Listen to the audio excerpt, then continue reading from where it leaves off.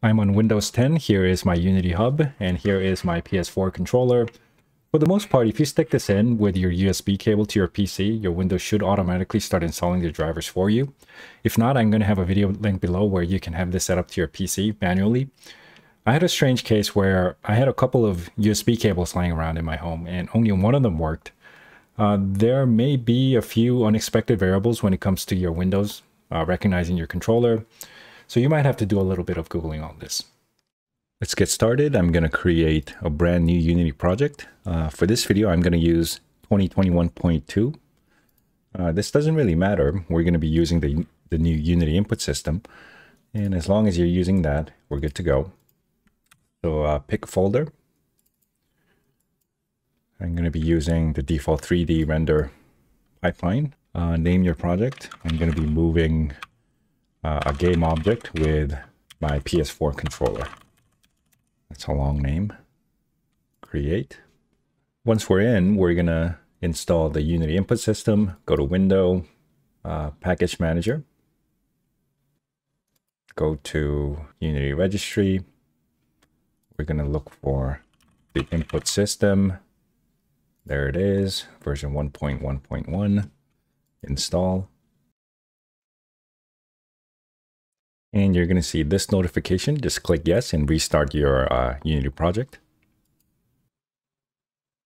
We are now done installing. Now, I know that some people are absolutely obsessed with this uh, input action UI, but I'm not going to use this. I don't like it. Uh, for this video, I'm going to keep things as simple as possible.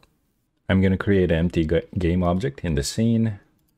I'll call it PS4 controller I'm also going to create a script called PS4 controller, add it to the game object. Gotta wait a few seconds, add it to the game object. Don't want to add it twice, it's there. So go in there to Visual Studio. We're going to be using the new Unity input system, Unity engine, uh, input system. And right in the start function in the beginning of the game, we're going to go through a for loop to find all the game pads that are connected to this machine. So I'm going to look for gamepad all, get the count, the total count. We're going to repeat this as many as the total number of controllers that are connected. Control S to save, and we're going to get the names of the gamepads. Go through the index, get the name, and log it. Now make sure that your PS4 is connected.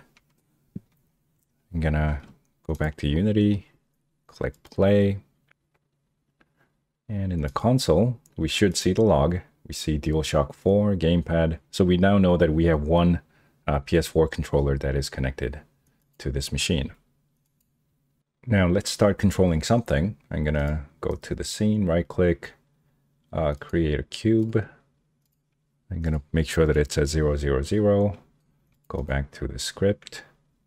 And let's say we have a game object called cube. And right in the beginning, we're going to look for the cube, find a game object by the name of cube, and reference that. And we're pretty much done here. In the update, first let's make sure that the gamepad count is more than zero. And we're going to look at the first gamepad, index zero. And for example, let's look at the left stick. If the left button is pressed. Then we're going to look at the cube's position and let's move it left. Vector 3 left. Let's get the delta time to smooth out the movement. Speed, I'll just say 5. Control S to save. Go back to Unity and play. Okay, so we're in the game. I'm going to start moving the cube with my PS4 controller. Now we only have left So I'm going to go back and do the same thing with right.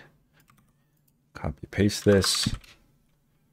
And if right is pressed, we're going to move to the right side. Again, Control S to save. Go back and play. And we can move the cube left and right.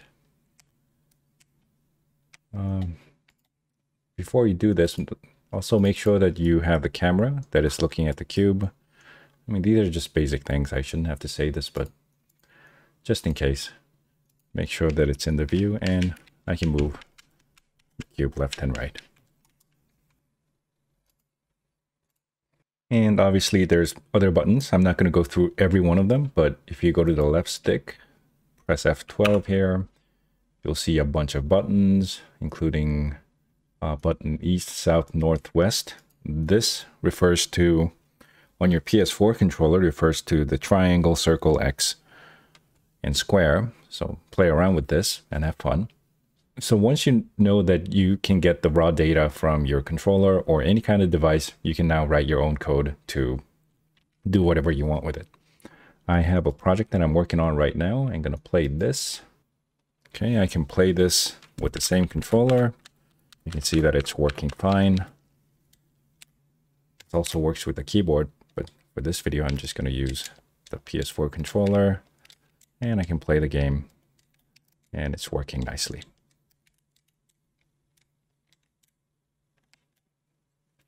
Okay. You can go to my repository and download everything that I just did here. And that's it. Thanks for watching. If you have any questions, you can reach me on my Discord server. I'll see you next time.